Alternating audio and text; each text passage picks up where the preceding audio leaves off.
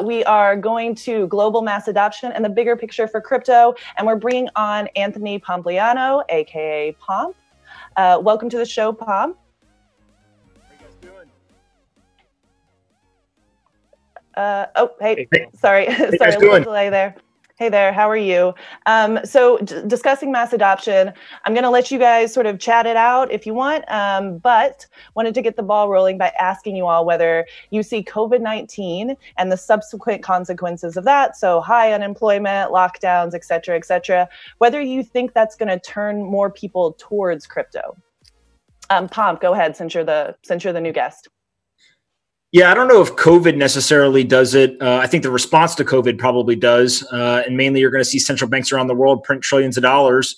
And the fear of inflation, whether it actually happens or not, will drive people to uh, one, seek out something like a Bitcoin that's an inflation hedge. And then two is as currencies fail, people will look for ways to uh, be able to store value or move value uh, easier. And as we see in places like Lebanon, et cetera, where there's just a lot of capital controls and um, kind of nefarious behavior from banks and governments, uh, I think people will seek out assets that only require an internet connection uh, to be able to uh, transact. And so that's you know super bullish for Bitcoin and crypto in general.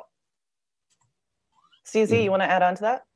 Um, I think basically Pomp says really, really well. Pomp has a way to uh, uh, present uh, num- uh, present uh, in a, in, a, very concise way. I think there's there are also some secondary sort of further implications that we have not seen yet.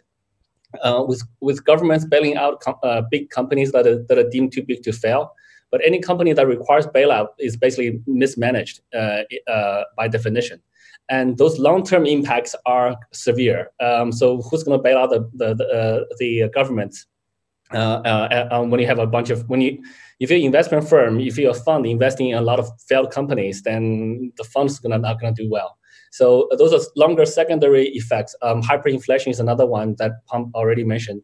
Um, so there's there's a lot of longer term effects that people don't think about just yet. But I think those things are also very um, those longer term uh, impacts are actually very painful uh, and very impactful over the longer term horizon. They, they, they, don't show up. They don't show up on the second day, but when they slowly do show up, uh, those impacts are huge. So um, I think this is, as many people say, this is the perfect storm for cryptocurrencies.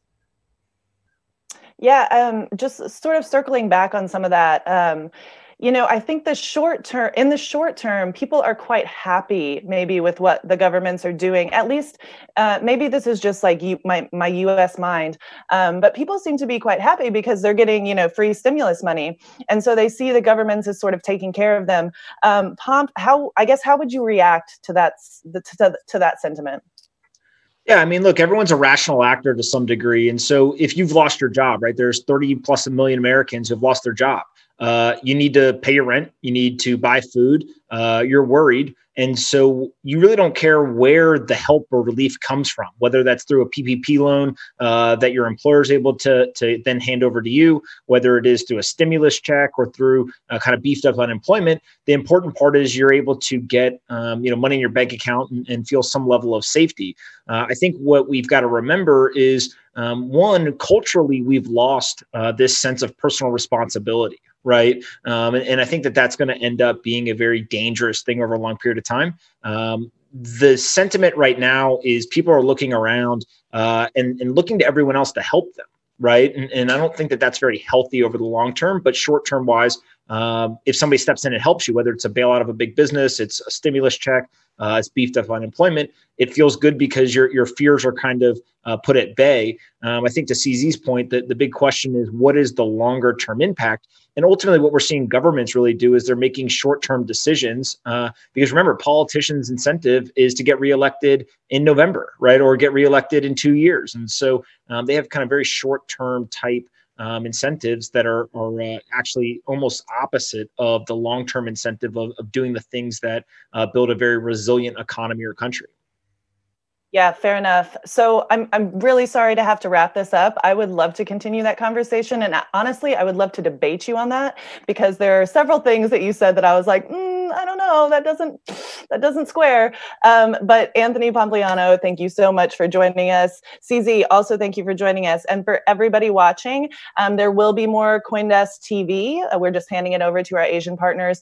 And then please join us on the Keynotes exclusives track where I will be doing an AMA with CZ. So we'll see you over there soon. Thank you guys so much.